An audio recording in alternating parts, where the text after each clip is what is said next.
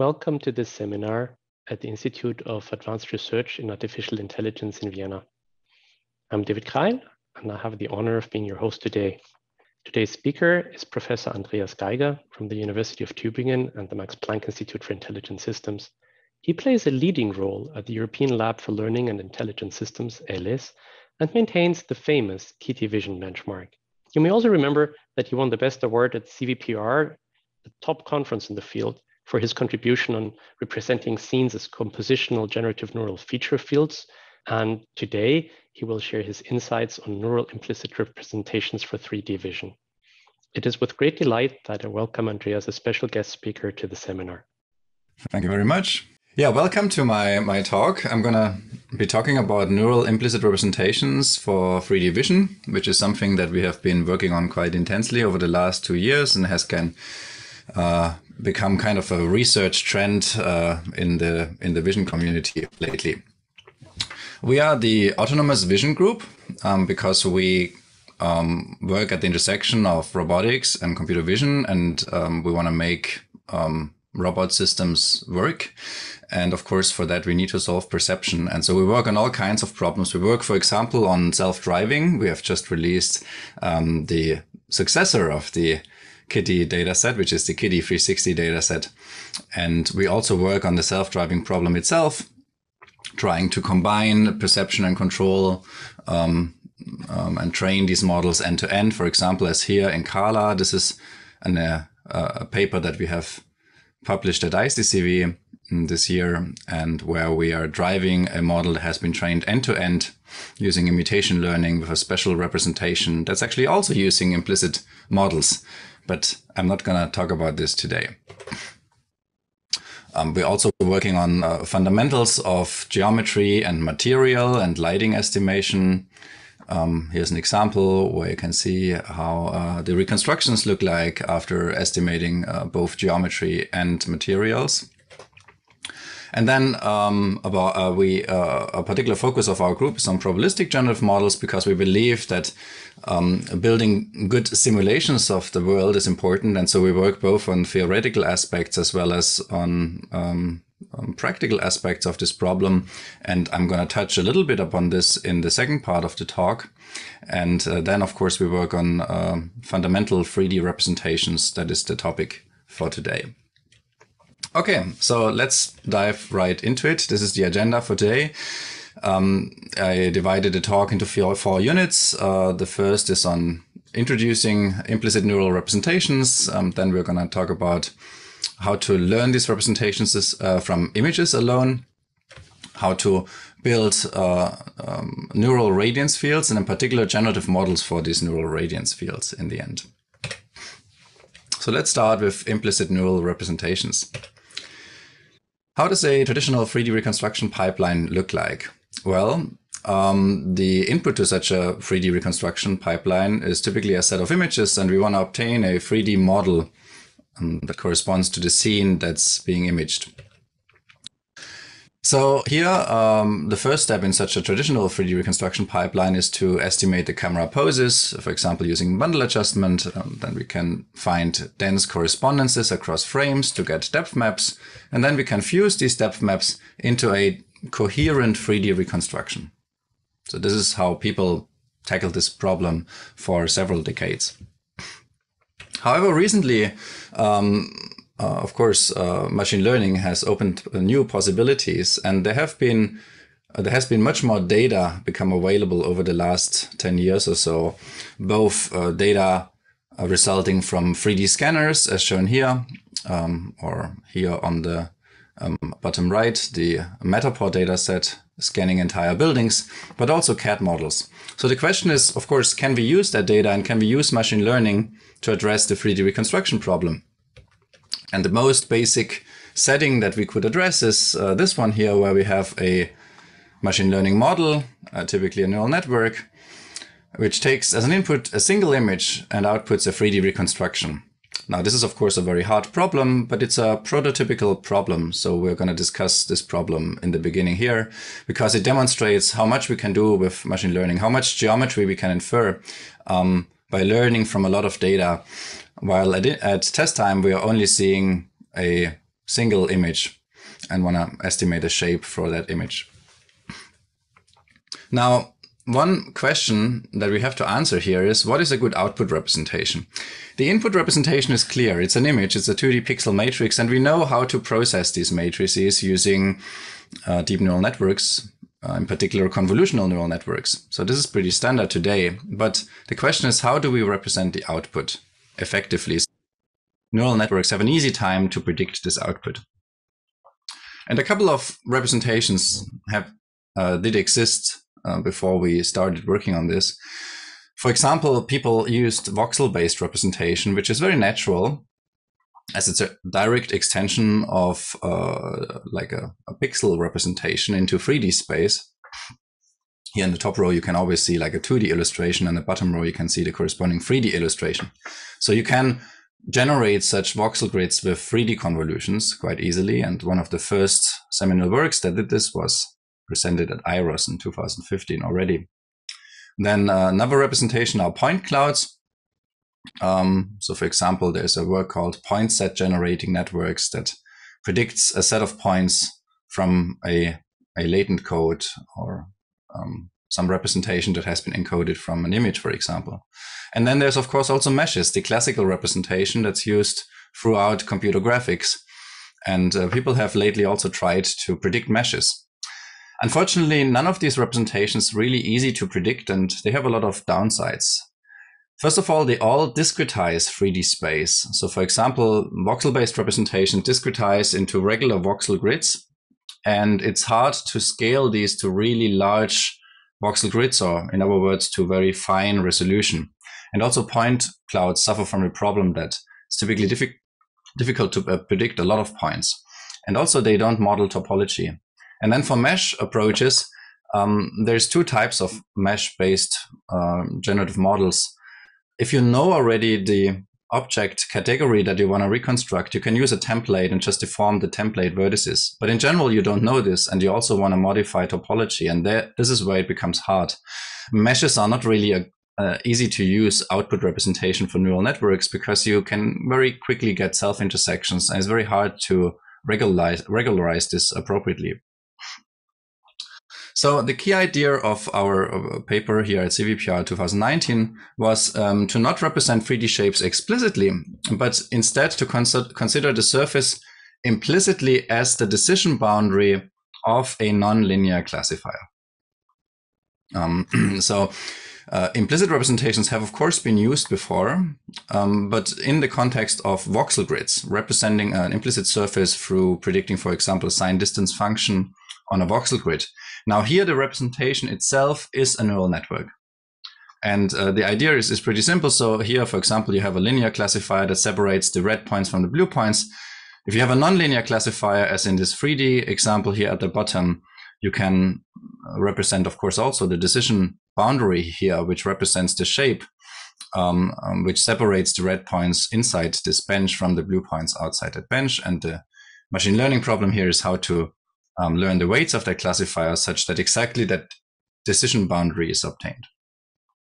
Mathematically speaking, there's a function f with parameters theta that takes as input a 3D location and a condition, an image, for example, that is encoded into a, let's say, 128 dimensional latent code vector x and outputs a occupancy probability for that 3D location and a condition. That should be, you know, um, zero if the point is outside, blue, or one if the point is inside, red. So very simple. Now, um, this function here, f models a occupancy field. There's also alternatives. For example, Park et al. proposed at the same conference to use such a representation to model sign distance fields, which has the nice property that at every point in 3D space, you know the distance to the surface. So you can also do that.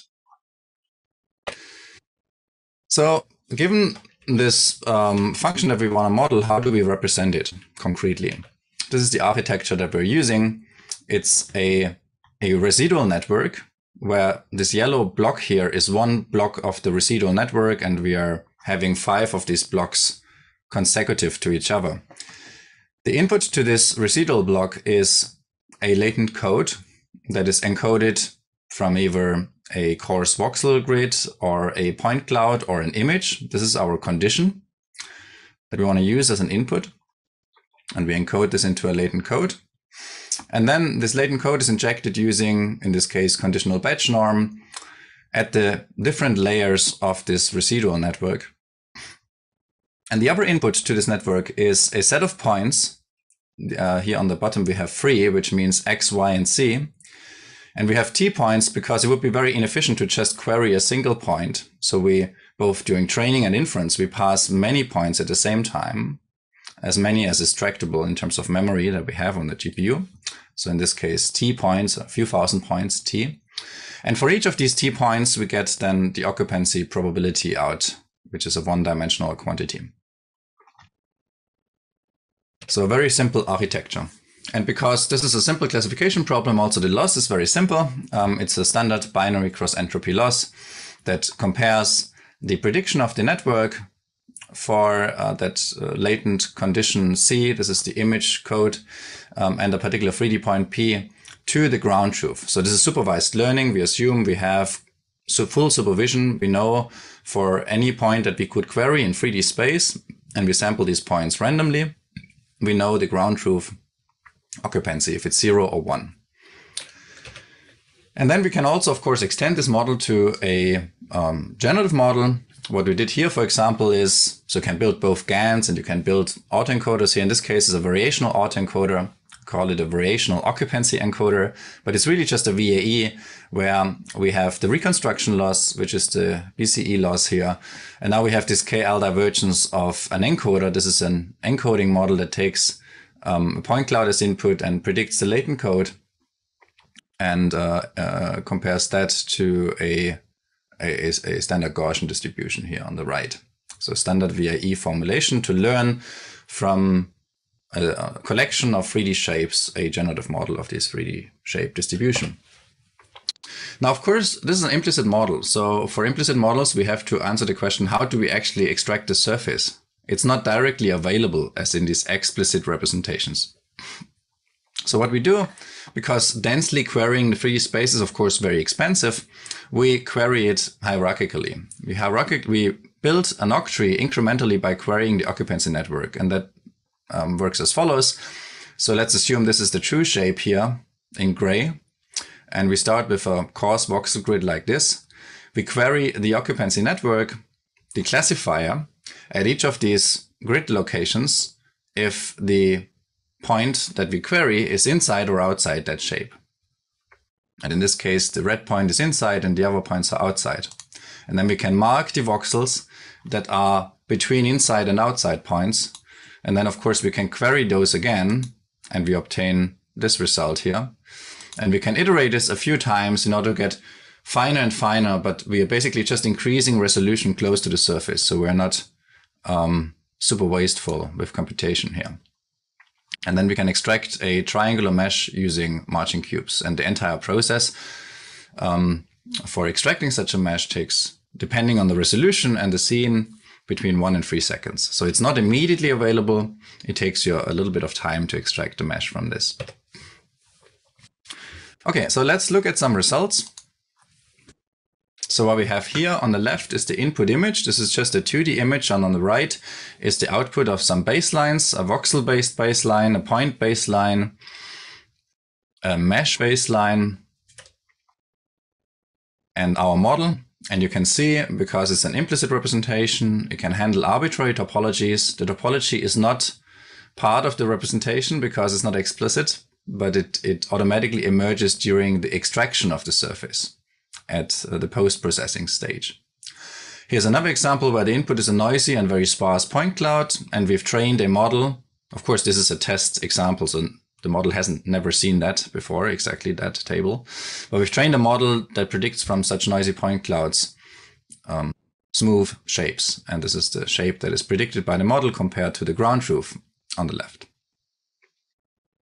We can do this experiment also for a super voxel super resolution where the input is a very coarse voxelization of a shape.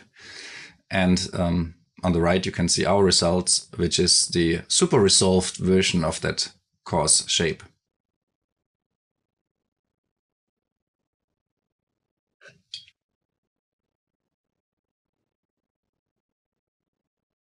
And here are some latent space interpolations for the unconditional model, the variational autoencoder. So this model is able to generate new shapes that are not part of the training set as any generative probabilistic generative model is able to do. You can see when we walk around in latent space, some of these shapes are more realistic than others, but in general, we get quite nice interpolations between different shapes. Okay. What we can also do with this idea of having a neural network um, representing properties is we can uh, uh, represent other properties. For example, we can represent view-dependent appearance. In this case, the input um, is uh, not only the 3D point location, the input to the neural network, but it's also the view direction and a point light source location. And then we can uh, query the neural network for the color. Right, so we can, given this as an input, we can out, we can ask the network to predict a color. And so this allows us then to make predictions about novel viewpoints and novel color locations.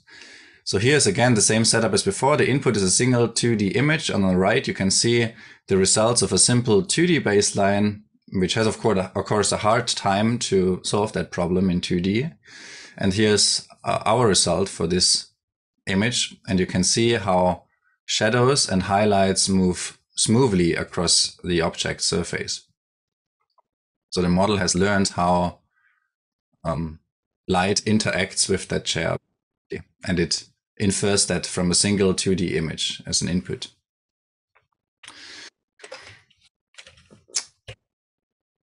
Now, another thing that we looked at is can we represent motion in 3D, which means effectively can we extend occupancy networks to 4D. But it turns out this is quite hard, and the reason for this is the curse of dimensionality. It's really hard to represent time varying 3D shapes. And also there's very little data for this problem available. So this makes these models much more prone to overfitting.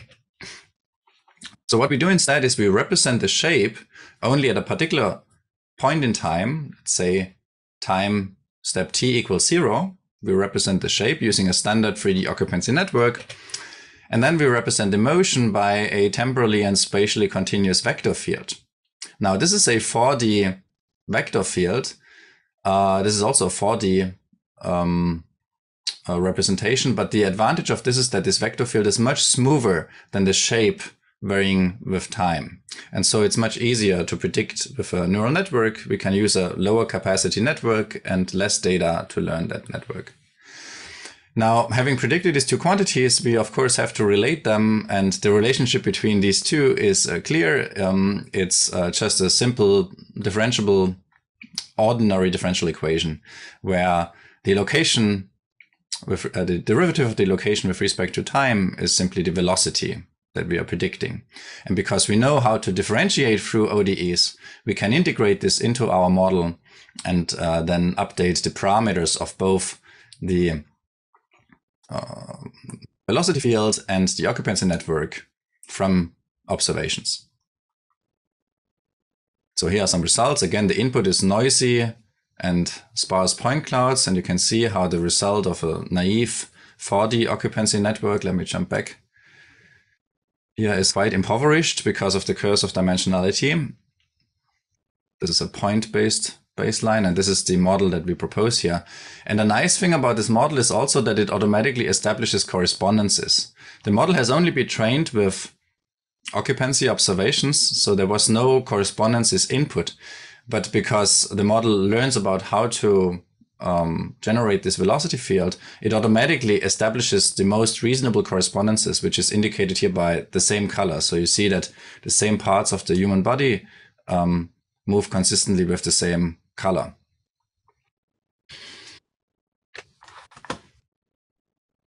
Okay, so this is another application. However, uh, these implicit neural representations also have some limitations, of course, uh, apart from the surface, um, which need to be extracted in a post-processing step. So one um, problem with this is the structure of the implicit neural representations. And I want to highlight in particular two things. The first thing is that from an input like an image, we encode this into a global latent code, um, which means that there's no local information from the original high dimensional input present anymore. And so it's very difficult in this global uh, latent code to express a lot of local details of the geometry. So that's, that's really hard. And the other problem with this approach is that we use a simple, fully connected architecture, which doesn't exploit useful properties that we, for example, exploit in the vision community a lot, like translation equivariance in convolutional networks. And so what this leads to is that these implicit models work well for simple objects, but quite poorly on complex scenes.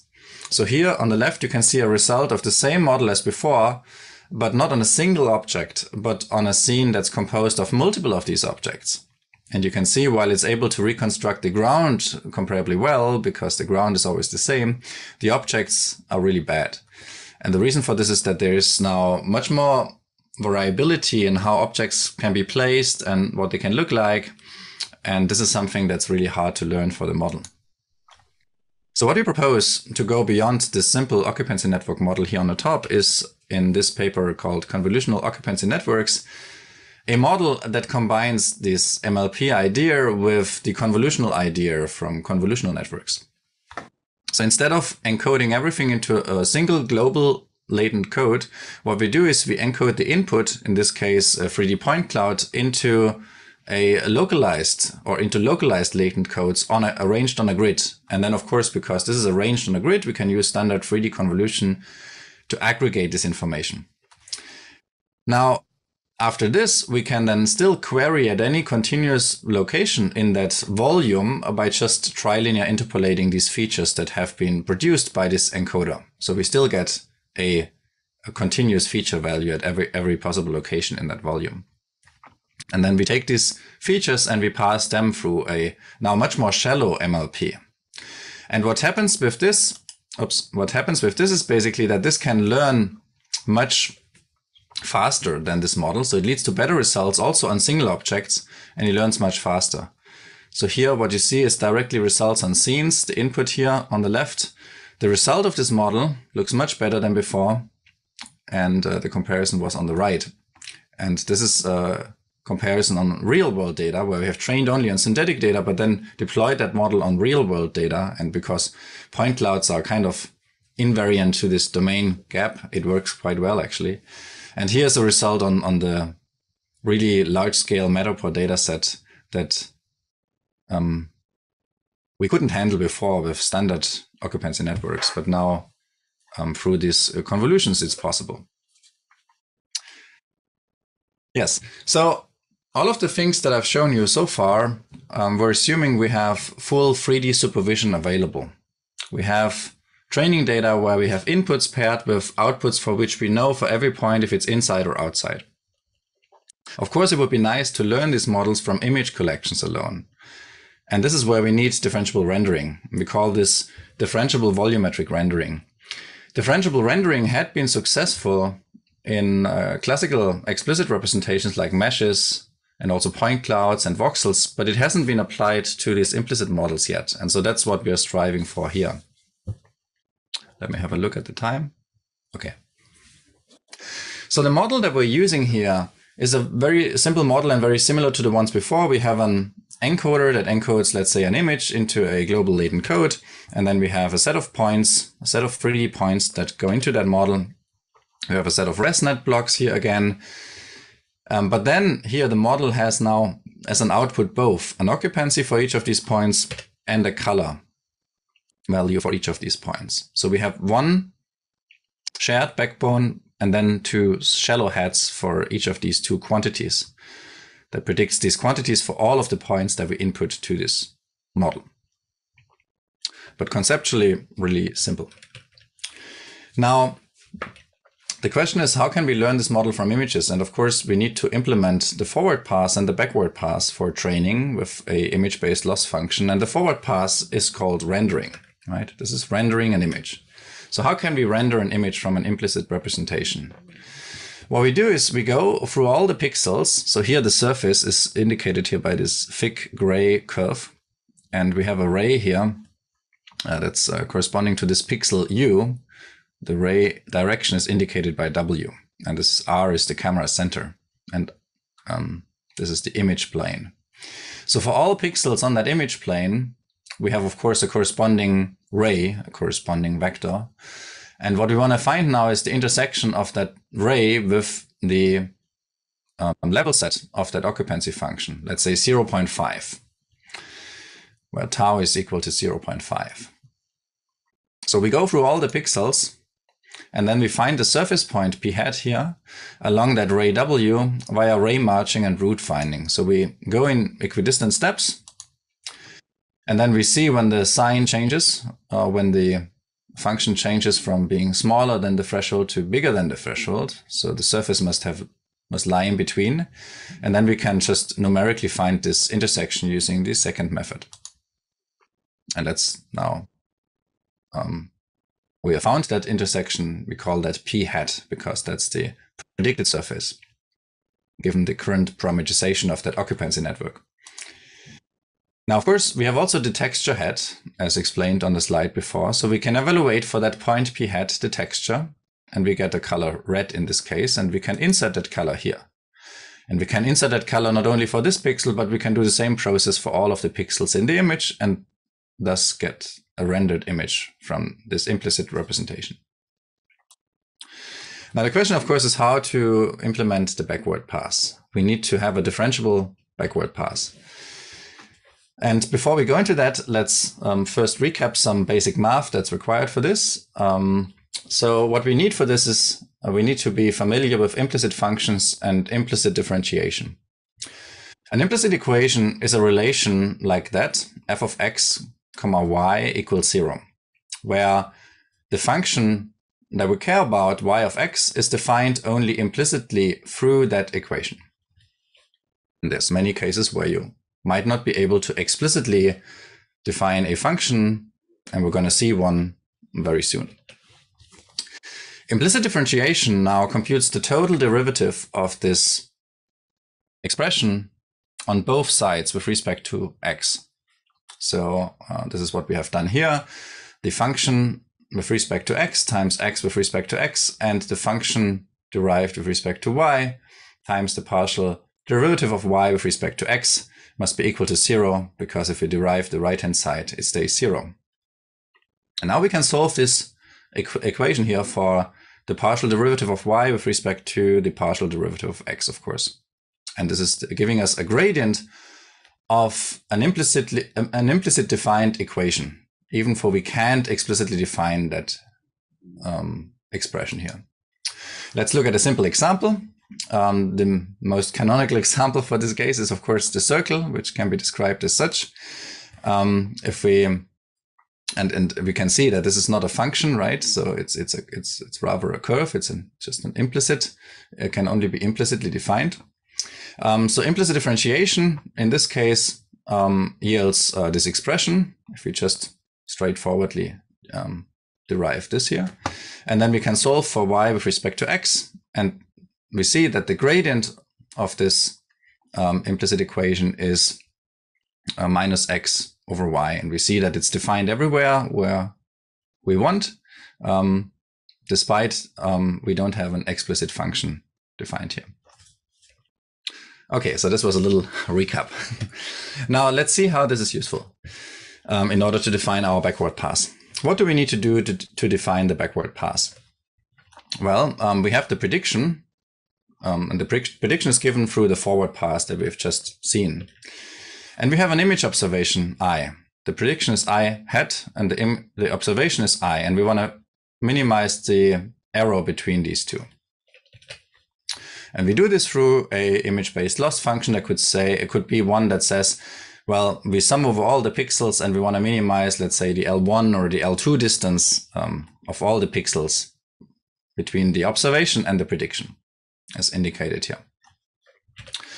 Now, how does the gradient of that loss function with respect to the parameters theta, these are the parameters of the architecture that I've shown you before that contains both the backbone as well as the two shallow heads. How does this gradient look like? Well, of course, we need the chain rule, first of all, um, to derive um, the uh, to differentiate the loss function with respect to the parameters. So we get the loss with respect to the prediction times the prediction with respect to the parameters. And then we have to look into how this looks like. So this is the prediction with respect to the parameters. And um, because the prediction, um, uh, which is t of, uh, this is the color at that point, t of p hat depends on theta through t, because the texture network depends on theta, but also um, it depends on theta through p hat, because that intersection with respect to that level set here depends, of course, on the geometry, and the geometry depends also on the parameters theta. We need to use the rule of total differentiation here. So we have the derivative of t with respect to theta times the derivative of t with respect to p hat times p hat with respect to theta because p hat depends on theta. Now, these two expressions are easy to calculate. This is just standard backprop through our network architecture. We know how to do this, but how can we compute this expression here? And this is where implicit differentiation comes in. We implicitly differentiate the level set constraint. This is the constraint that must hold. Remember from the previous slide that we want basically the surface to lie at um, the point where, or lie where the f function takes value theta, uh, value tau, sorry, tau, it's tau. Um, and so implicit differentiation of this level set expression yields a gradient, a closed form analytical solution for the gradient of the intersection point p hat with respect to the parameters theta. And that's really nice um, because now we can compute all the gradients and we can update as indicated here, we can update um, the geometry and the texture. Can update all of the parameters to make the observation to, uh, to make the prediction come closer to the observation.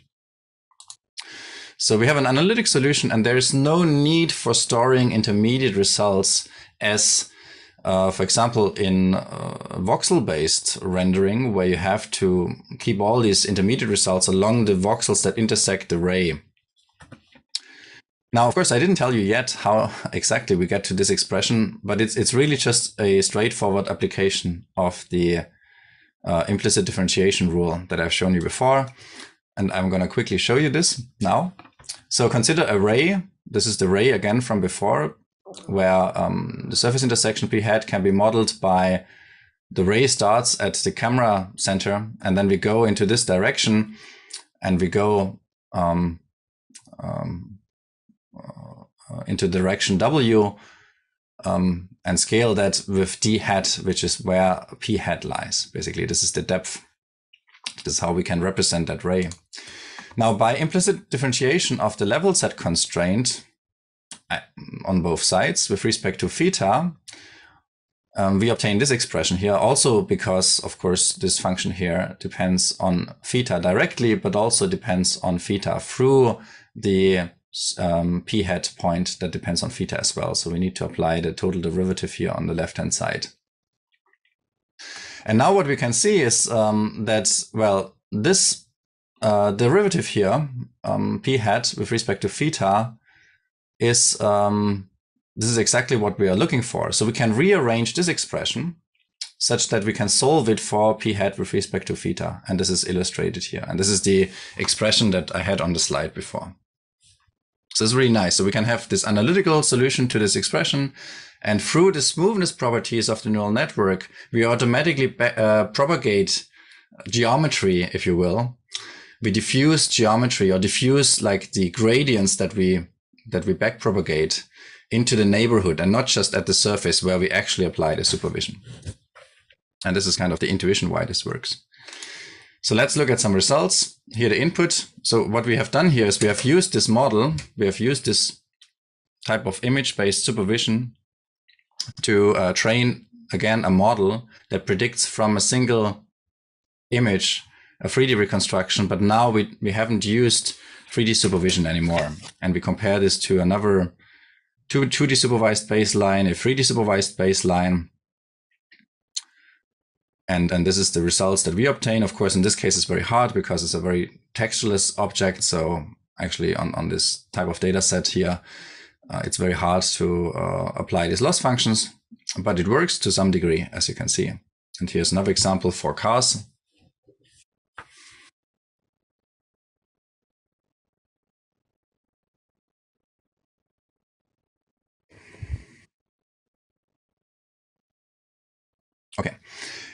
And what I also want to show you is that this model can also be applied to multi-view reconstruction. In this case, we have we have applied it to the DTU dataset, which is a real-world multi-view reconstruction dataset, where there's too little images to learn such a single image to 3D reconstruction model, but we can still overfit that model to a set of images and get a 3D reconstruction out. So we can demonstrate that it actually also works in real data, um, reconstructing like a standard 3D reconstruction approach without conditioning on any um, latent code in this case because we're overfitting to one scene.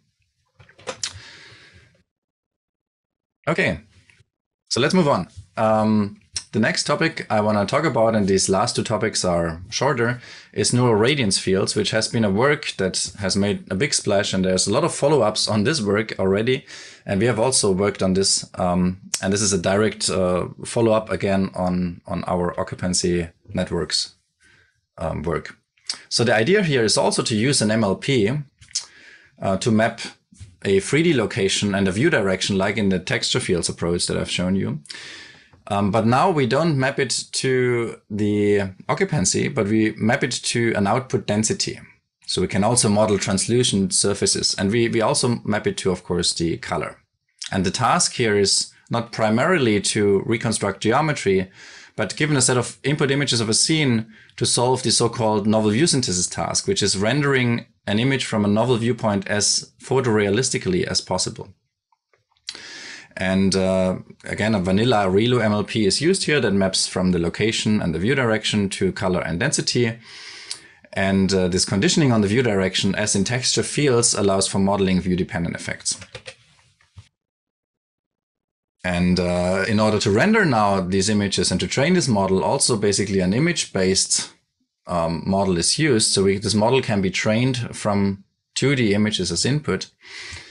And uh, this rendering works very similar to traditional ray tracing in graphics. We shoot a ray through the scene, sample points along the ray, and then query the radiance field along this rays to obtain color and density, and then basically apply alpha composition to composite these colors with the densities into the color value of a single pixel. And then we use this, we compare these images to the observations and use this signal for training.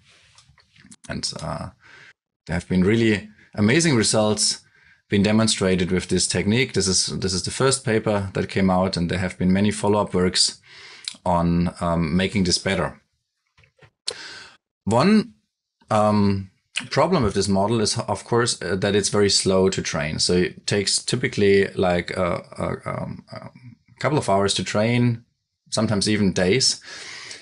And it's also very slow to render novel views. And of course, this is a problem if you want to apply this in AR or VR applications. And we have um, uh, investigated one extension of this model where we have replaced this single MLP that tries to represent the entire scene through thousands of very, very small MLPs. And surprisingly, they can reach the same image fidelity when rendering novel viewpoints, but at much faster speed. So you can get real-time performance with this, um, what we call KiloNeRF. And there's some other methods that also um, use uh, similar strategies in order to improve uh, rendering time of these models. But what this demonstrates really is that these models might soon be become useful also for, for computer graphics and uh, as a representation for rendering. Okay, good. So um, let's come to the last chapter, which is on taking these radiance field models and extending them towards generative models that can be trained from images alone. In this case here, the representation, uh, the, the model has assumed that the cameras have already been calibrated extrinsically and intrinsically, which means you have to run a bundle adjustment to get the camera poses. And you have to have many images from the same scene and the model is, is overfit to a single scene. But what if you just have an image collection where maybe you have just a single image per object and you don't know the camera pose? So this is what we are tackling here. And we call this generative radiance fields. so the idea is to build a generative model for radiance fields where we train this on unstructured and unposed 2D image collections and then afterwards, we can sample novel shapes and novel appearances from that model.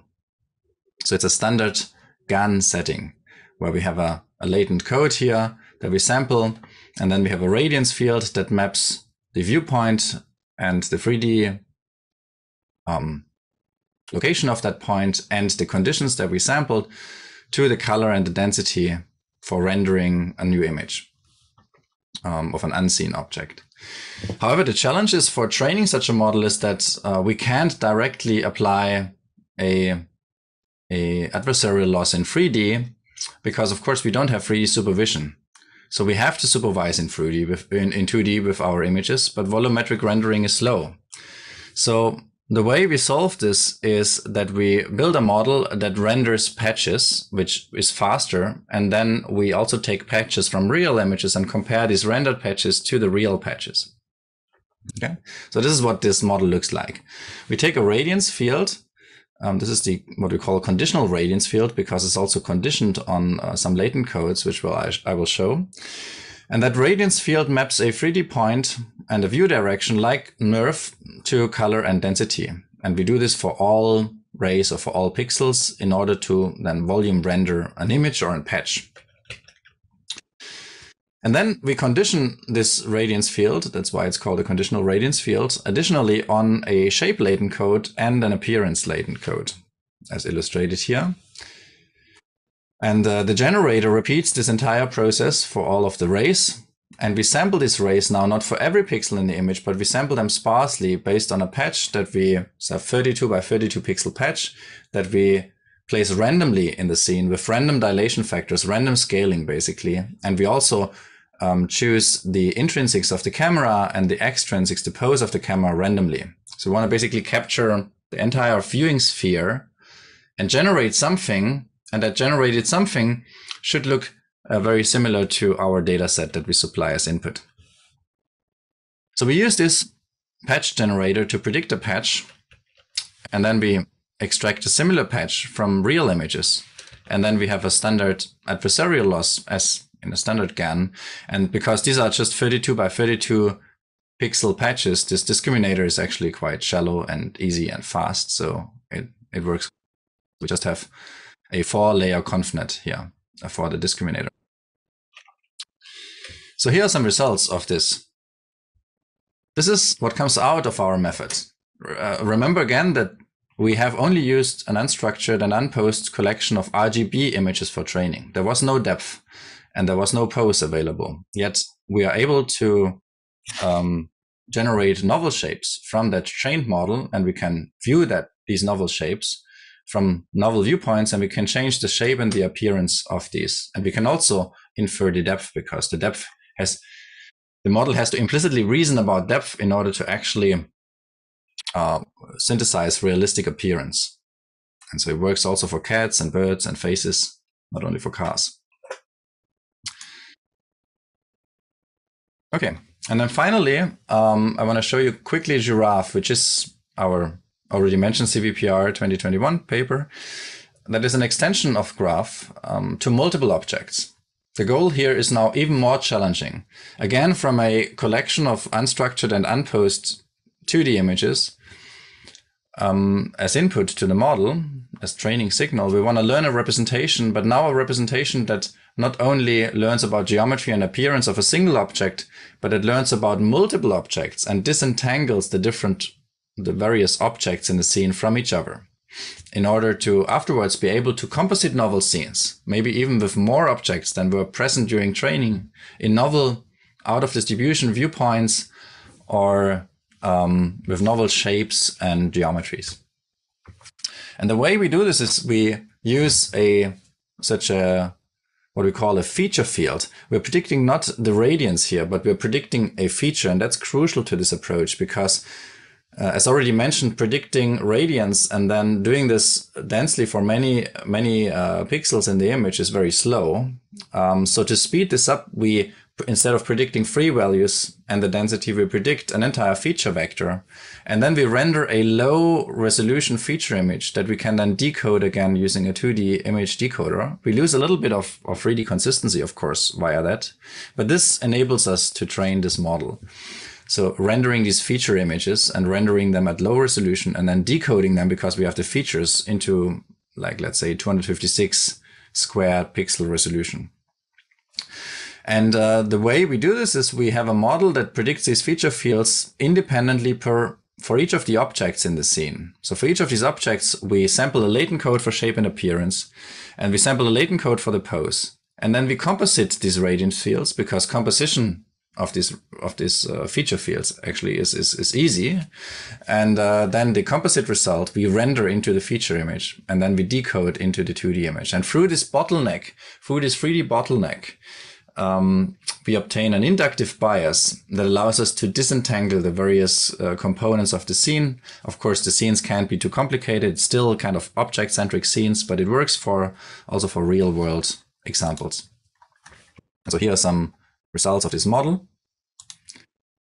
This is a comparison against a 2D-based GAN.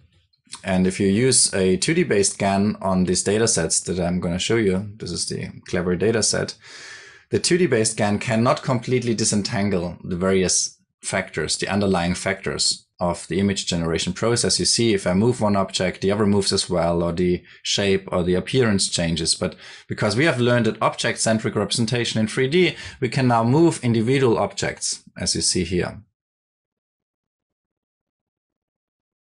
And we can also move them along um, uncommon trajectories that haven't been part of the training, of course, because we only train on single images. So we can change the background as well, as shown here. We can also add more object at test time than were seen during training time. So this was trained on two object scenes plus background, but now we can add more objects at test time. So here's an example for cars.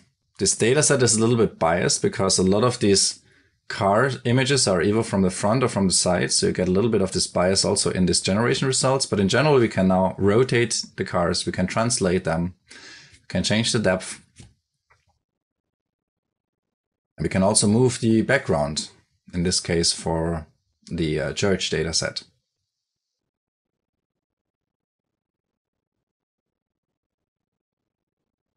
Okay, so let me stop here and summarize.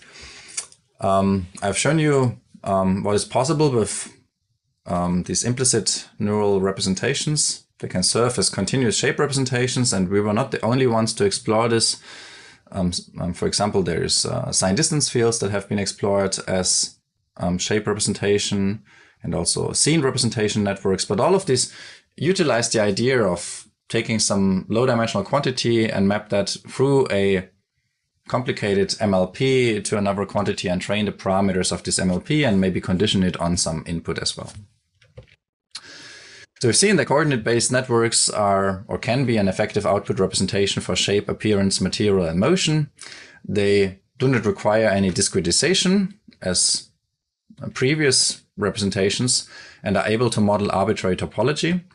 And they can be learned from images using differentiable rendering there's many applications in 3D reconstruction, human shape modeling, motion estimation, view synthesis, uh, robotics, self-driving, and so forth. However, there's of course also some limitations of these representations. One is that the geometry must be extracted in a post-processing step, which takes time. Extension to higher dimensions is not necessarily straightforward, depends on the data.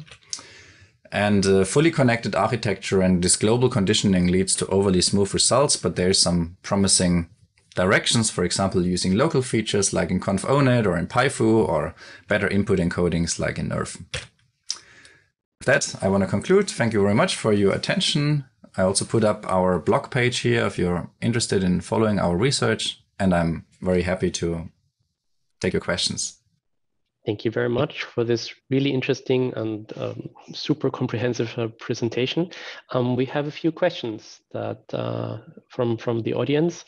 There are two regarding specific slides from your presentation. First, uh, Daniel Romero was asking whether the layers in the model from your slide 11, whether these layers are dense. So dense, you mean fully connected or what do you mean by dense? I suppose, but maybe um, Daniel can uh, comment if yes. Yeah, so these are fully connected standard MLPs. Yeah. Okay, that was quick. And then Rahul mm-hmm. wanted to know how you compose the feature vectors um, on slide 37. Ah, Yeah, so this is basically um, so here the feature vectors are composed based on their weights and visibility. So um, it, it's similar to alpha composition, but now we do it with these different radiance fields, uh, and we do it for the features instead of the color. But it's it's it's kind of similar. So basically, you can think of it as an, weighted average. Basically, um, it's it's very simple. Yeah. Okay, and Rahul wondered whether it would be fair to say that the main reason that the implicit shape representations work so well is because they solve the problem of distributing network capacity over the complicated aspects of a 3D shape? That's a good question. so one one thing that uh, like I, I don't believe that these MLPs that we're using right now are the best representation that we can use. And there's various representations that have been used that go a little bit away from that, um, mm-hmm. Siren and, and also ConvONet and so on um, because of course training MLPs is a non-trivial matter on its own and it takes time and we have very simple algorithms in our toolbox only to do so like stochastic gradient descent which are very slow. Yeah. um, but yes so the advantage of implicit of these neural network based representations is that they can basically allocate capacity where it's needed. So they can model detail in one part of the scene and, and be very coarse in other parts of the scene if they are used in combination with the right input encoding. That's actually important and uh, so that's, I think, one thing that makes this successful. And the other thing we are investigating also a little bit that makes this uh, successful is that there's very useful inductive biases in the MLPs themselves that regularize the geometry in, in useful ways. And this is something that's not very well understood yet, I would say, mm-hmm. but it's something that empirically is, is, uh, turning out to be true and uh, I think it's worth investigating that more. Thank you very much. Um, you mentioned, uh, you know, the the the cost of, of training. Um, Michael Kopp was wondering whether you could generally give an indication of how compute intensive the GRAF and the GIRAFFE approaches are and how you think they would scale. Yeah, I mean, these models are quite intensive. So, like for training, you need to train. I mean, the longer you train these models, they can always get better. Even fitting a NeRF to a single scene, you can fit it for one day, you can fit it for three days, and it it still gets better. um, so here, I'm not exactly sure. I, I would have to look this up myself, but I think it's like we are we're always in the order of a few days of training time. And uh, this is, of course, only for these very simple scenes with um, you know, up to 256 pixel resolution and relatively simple, like one or two objects in front of a rather simple background. So mm-hmm. um, I, be- I don't, I mean, computational efficiency and memory efficiency is one thing, but even if that would be solved, I don't think these models would directly scale to mm, very complicated scenes without any additional assumptions or inductive biases just because um, the data sets would have to grow also exponentially.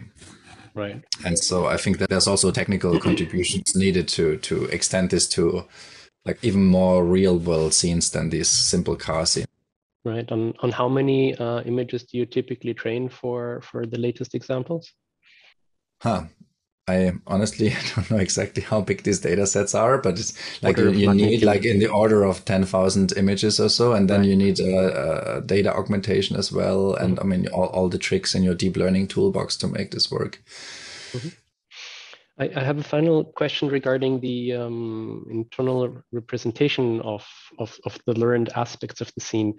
Um, I mean, you're clearly extracting shape um, and you're extracting um, you know the radiance that gives you the the, the rendering um, but but can you interfere with it in some way i mean for instance could you take a red car and turn it into a blue car on based on the model that you have yeah so the appearance is one of the aspects that we uh, in, I mean, one of the latent factors, and actually mm-hmm. disentangling. Um, I mean, appearance includes not only blue versus red, but of course the color of the car is the most important factor. So that's mm-hmm. going to be the, the, the, the, dominant dimension. Um, so that that's actually possible, yes. Okay. Um, but uh, the difficulty, uh, or the, the, maybe what is a little bit hidden under the hood here is how you can actually disentangle the latent code for geometry from the latent code for appearance. And this is done in a very subtle way. It's based, it, it's done through the inductive bias of the architecture because the the uh, the latent it's not it's it's shown in the paper. It's not uh, we don't have it on slides here, but this appearance code is injected later into the neural network architecture, where less capacity is available for the model, and also where already the um, um, like the majority of the of the um, computation for the geometry has been done. So through a special design of this architecture here, and through injecting different latent codes at different locations, you can get a disentanglement that works actually quite well. And this is mainly through capacity, a mm-hmm. capacity mm-hmm. argument. Yeah. Nice. Well, thank you very much. Um, I think we're we're exactly at the full hour. Thank you so much for for um, joining us today, for the wonderful presentation and the insightful discussion. Thank you. Thank you very much for having me. Thank you. Bye bye.